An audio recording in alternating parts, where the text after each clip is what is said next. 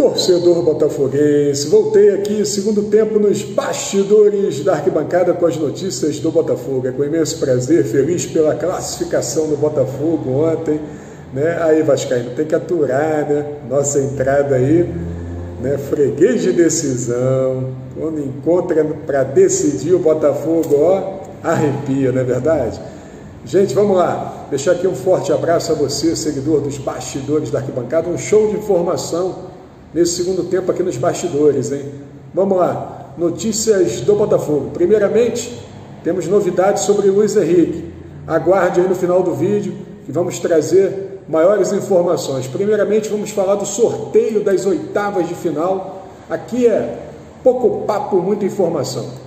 Sorteio da Copa do Brasil, oitavas de final, será realizado dia 1 de outubro, isso mesmo. Sorteio aí das oitavas de final da Copa do Brasil será realizado aí na próxima quinta-feira, dia 1 de outubro, às 11h30, na sede da CBF no Rio. O evento será transmitido ao vivo pelo site da CBF.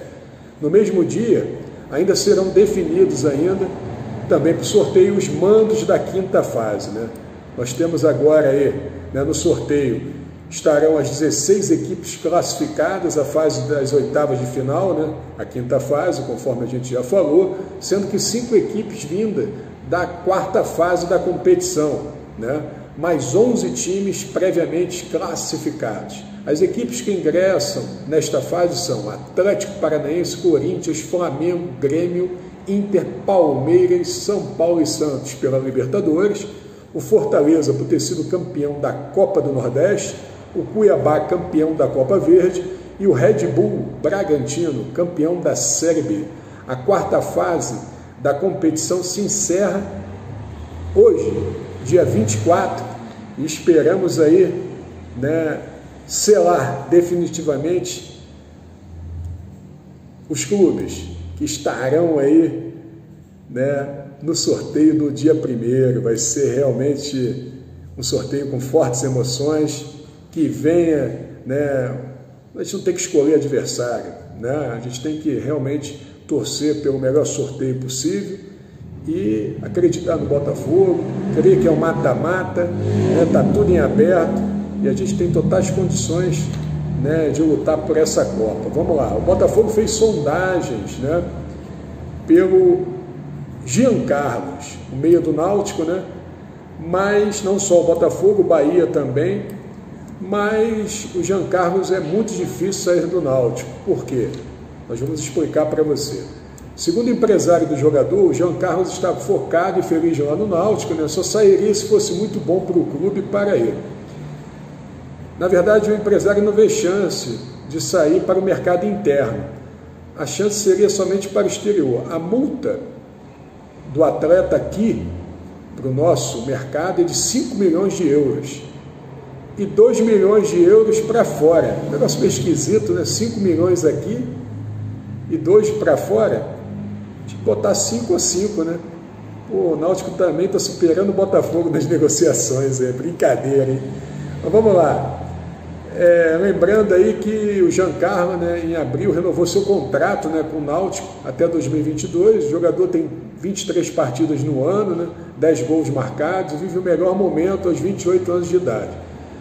Mas eu acho remota, só se algum investidor aí né, botar uma grana nessa jogada, eu acho que a princípio o Giancarlo não vem para o Botafogo. Seria um bom reforço pelo momento, né?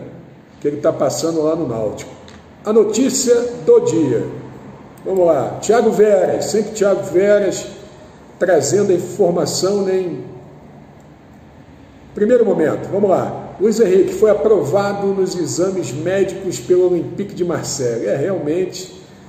É, quando a gente falou aqui, bateu na tecla, vocês estão sendo levianos, vocês estão jogando conversa fora, que a contusão dele era esquisita, não é verdade? Porra, 18 anos, irmão. Tudo bem que ele tinha um problema no pubis, mas estava demorando muito. Estava preservando o atleta para negociação. Mas a verdade é a seguinte: nenhum dirigente tem peito de chegar e falar isso para a torcida. Entendeu? Então fica engabelando, contando história. Aqui no papo é reto, a gente vem rasgando e manda real. O clube francês vai dar sequência ao processo de compra do jogador. Né? Sobre o problema do Pubis, não vou nem falar, né? já acabei de externar aqui a minha opinião né? e não tenho dúvidas. Né? Vamos aguardar aí como vai ser o desenrolar das negociações. Provavelmente já está selada essa negociação. Luiz Henrique vai jogar no Olympique da França. É isso aí. Deixamos aqui um forte abraço a toda a torcida do Botafogo em todo o Brasil e no mundo. E não se esqueçam, a qualquer momento podemos voltar com uma notícia extraordinária do Botafogo de Futebol Regatas. Um forte abraço a toda a torcida do Botafogo em todo o Brasil e no mundo. E não se esqueça, torcedor do Botafogo, inscreva-se em nosso canal. Dê seu like. Esse canal é um oferecimento Lindolfo Joias. Compramos joias, pagamos o melhor preço, cobrimos qualquer oferta.